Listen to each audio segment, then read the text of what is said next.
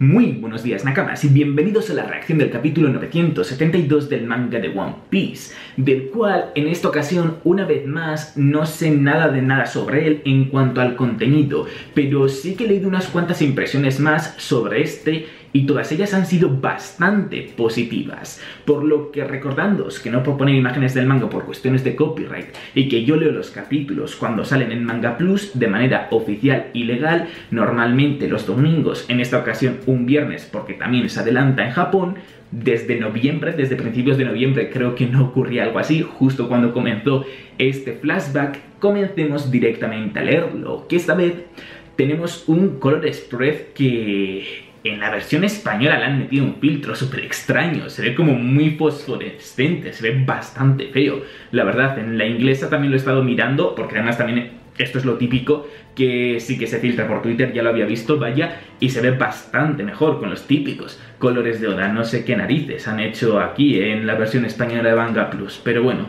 mientras el resto esté bien, esto tampoco es que me importe, especialmente.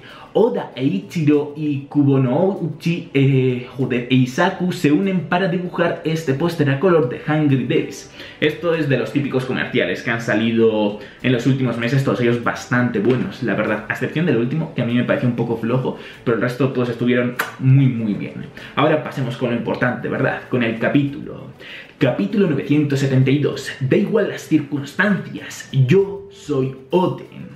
¿Que el señor Oden nos estuvo protegiendo? Por mucho que nos digas eso ahora, no podemos sentir lástima por él. La verdad solo crea caos y confusión, Shinobu, dice Fukurokuyu mientras la agarra. El señor feudal imbécil se opuso al shogun y morirá por ello. Eso es algo que todos pueden entender. La ejecución terminará pronto. Fukurokuyu, espero que hayas hablado sabiendo lo que te espera, ¿no? Estoy dispuesta a morir con ello. Soy una vasalla del señor Oden. No voy a obedecer tus órdenes. Si les pasara algo a ellos, estoy lista para morir junto a la familia Kosuki. Ojo, porque se ha dicho que es una vasalla aquí mismo, igual la ponen en el tablón, junto al resto de los nueve vainas rojas. No, van a sobrevivir todos y la próxima vez acabaremos con ustedes. Eso no es más que un sueño, lo dice Fukurokuyu con una sonrisa de oreja a oreja, demostrando su gran ego, parece. Shogun Orochi, por favor, detenga esta ejecución. Por favor, se lo pido. Yo también se lo ruego. Dicen varios habitantes arrodillándose e inmediatamente después pasando a ser disparados por flechas de los subordinados de Orochi. ¡Wow! ¡Ya! Le dispararon una flecha. ¡Rápido! Que alguien le trague, le trate la. ¡Fu, fu! ¡Orochi!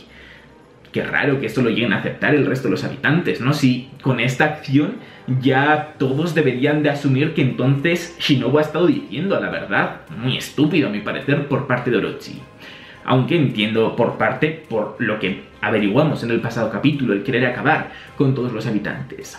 La gente comprendió al instante lo aterrador que era el Vengador. Trozos de basura, dice Orochi. Aquella ejecución prolongada que habían estado observando era precisamente la única esperanza para el país de Wano. Señor Oden, señor Oden, dicen los nueve vainas rojas. Cuando se dieron cuenta los subordinados de Kaido, habían rodeado a la gente y los subordinados de Orochi habían preparado sus armas. En un abrir y cerrar los ojos, la gente se enteró de la razón por la cual Oden había estado comportándose así durante cinco años. Entonces, ¿ese día nos salvó? dice un habitante cualquiera. La gente empezó a correr. ¡Demonios! ¡Somos unos inútiles! Y tanto, ¿qué lo sois?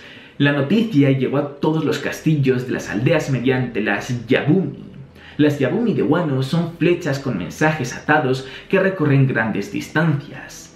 El aceite de la olla superaba los, los 700 grados y seguía aumentando. ¡Sobreviva, señor Oden! ¡Señor Oden! ¡Aguante, señor Oden! Discúlpenos por criticarle sin saber nada. Gracias por protegernos, señor Oden.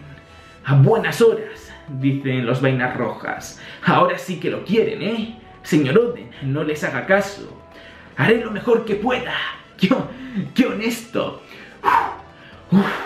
Chicos, dice Oden, si consigo sobrevivir a esta ejecución, quiero abrir las fronteras de este país. Al fin se nos va a revelar la razón original por la cual Wano fue cerrado y por la cual por lo tanto quiere abrirlo. ¿Mm? ¿Qué están murmurando? Ya lo mencionó antes, que el aislamiento de este país tenía algo que ver con la familia Kosuki. Así es como inició este flashback, ¿eh? con ese mensaje.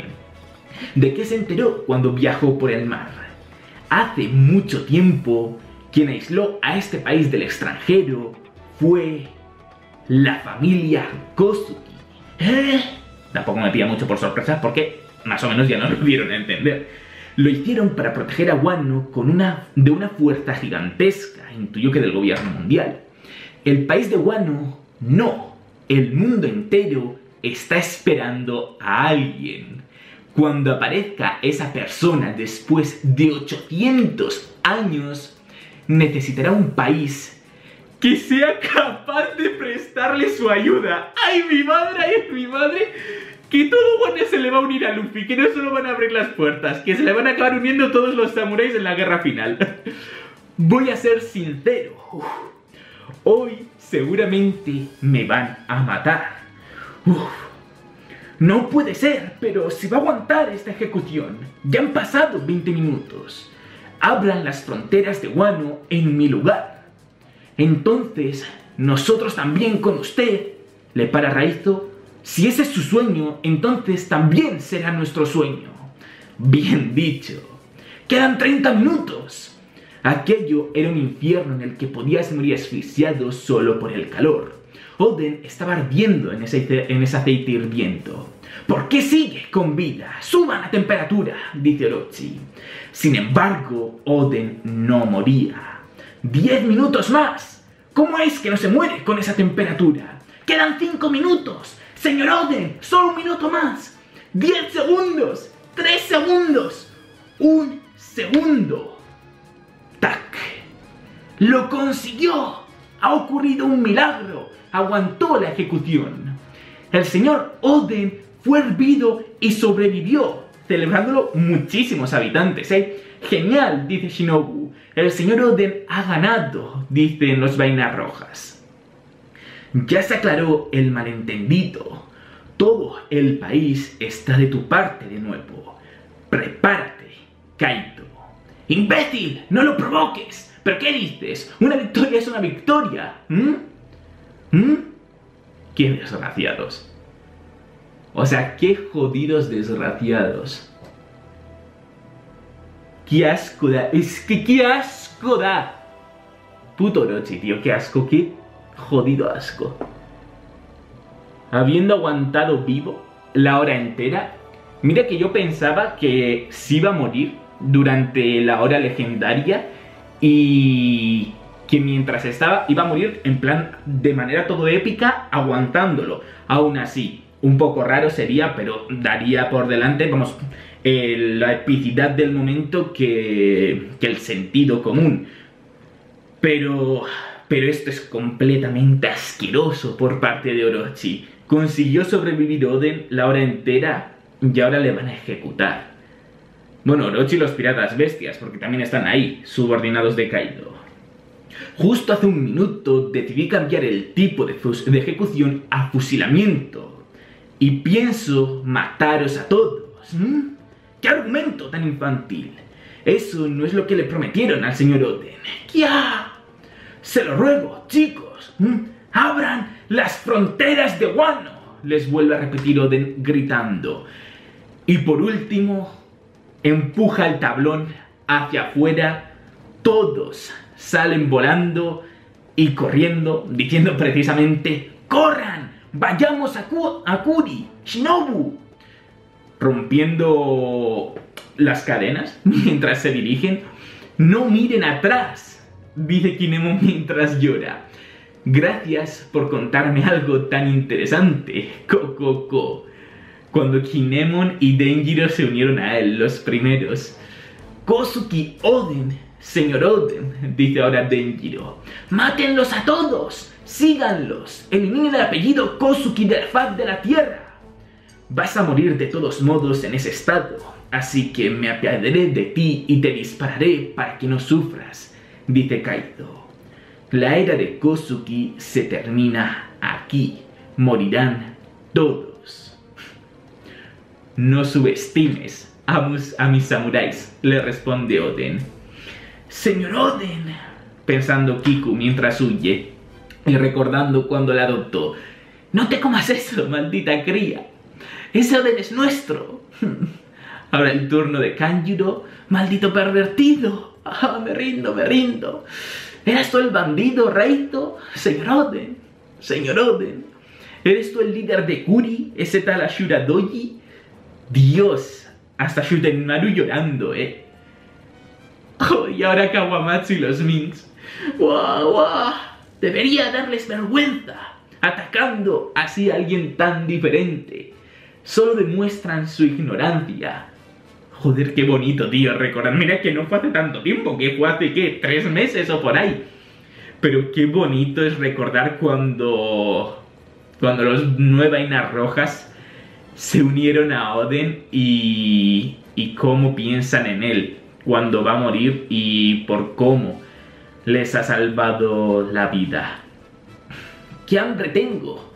Eso es porque siempre tomas prestado todo nuestro dinero, le, le replica Denjiro Oden también en el pasado. Vale, vayamos a robar algo para comer. ¿Así es como se comporta un señor feudal? ¡Qué muerte tan espléndida! Pasarás a la historia, le dice Kaido a Oden. Me da igual que se olviden de mí. mi alma seguirá con vida. Siento lo que pasó con la vieja. La maté. Qué sincero, de repente. Procura volverte más fuerte. ¿En serio? Kaido no dudó en aprovechar el momento de flaquez que provocó la vieja transformándose en Momonosuke pero aún así, tuvo la decencia de cargársela, de matarla, porque realmente sí que le parecía injusto luego. Esto me ha sorprendido enormemente. Pero bueno, continuemos con Oden diciendo, porque yo soy el que te acompaña a tomarte una copa de sake. Da igual las circunstancias, yo soy Toki, Momonosuke, Hiyori. Me tengo que ir. Vamos. Le disparan. ¿Qué iba a decir ahí? ¿O de el señor feudal imbécil? ¿U otra cosa? No llego a entender del todo bien esta parte del capítulo. Pero vaya. Finalmente murió ejecutado por fusilamiento y por parte de Kaido. Es decir, no murió hervido como creíamos hasta ahora y todos los habitantes, como no, lastimando ahora su pérdida. ¡Oden!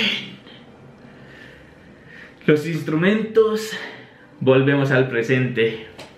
Creo que volvemos al presente. La sonrisa de Oden, ¿eh? Oda ha dibujado la sonrisa de Oden mientras se hundía en el aceite hirviendo tras ser fusilado, muriendo con una sonrisa en la cara como los de casi como si fuese uno, vaya, mientras que todos, como no, lloraban. Y así se cerró la cortina de una leyenda. Hostia, es que no acabó el capítulo todavía. Y ahora pasamos a los protagonistas de la siguiente escena. Señora Toki, lamento mucho tener que traerle la noticia de la muerte del señor Oden. Tuvo un final heroico. Toki, yo ya he llegado a mi límite. Si yo no puedo acabar con Kaido, aquel que acabará con él no llegará hasta dentro de mucho tiempo. Estoy hablando de dentro de más de 20 años. Tendrá lugar una guerra que incluso, que incluso podría dividir los océanos. O sea que dentro de 20 años, los protagonistas de esa gran guerra deberían adentrarse en el nuevo mundo. Ellos son los que pueden derrotar a Kaido. Se acerca un invierno muy largo para el país de Wano. Toki, quiero que uses tu poder. Si yo muero, por favor, entrégales esas katanas a nuestros hijos. ¿Mm? Pero son muy peligrosas. ¿No estás triste por la ejecución? porque no vas a morir, ¿ah, ¿verdad? Se nota que eres mi esposa. Si llorásemos, se reirían de nosotros, ¿no? Nosotros no somos tu debilidad. Mira esto, Oden. El futuro de dentro de 20 años. La historia empieza a moverse hacia el presente. Continúa con su propósito. no ha estado nada mal el capítulo, ¿eh? Me ha emocionado hasta ese... Hasta este final, estas últimas páginas, joder. Me cago en todo. Qué grande. Es que qué grande es Oden, por Dios. Qué grande. Le voy a echar bastante de menos, ¿eh? Que han sido cuatro meses casi de flashback. Cuatro meses que el protagonista de One Piece era Oden y no Luffy. Y aunque evidentemente quiero enormemente a Luffy, le echaba mucho de menos y quiero volver ya con él para ver cómo se desarrollan las cosas en el presente, no me arrepiento lo más mínimo de haber estado leyendo semana tras semana. Este, el que para mí ha sido un fantástico flashback, protagonizado por Oden. Qué jodido personaje, qué jodido personaje. Y bueno, creo que eso es todo lo que tengo que deciros. Dentro de nada se nos viene la guerra y después de este capítulo va a tener más peso que nunca. 100% seguro que va a ser epiquísimo. Y bueno, si os ha gustado, agradecería muchísimo que le dieseis un me gusta y hasta dentro de unas horas con la review.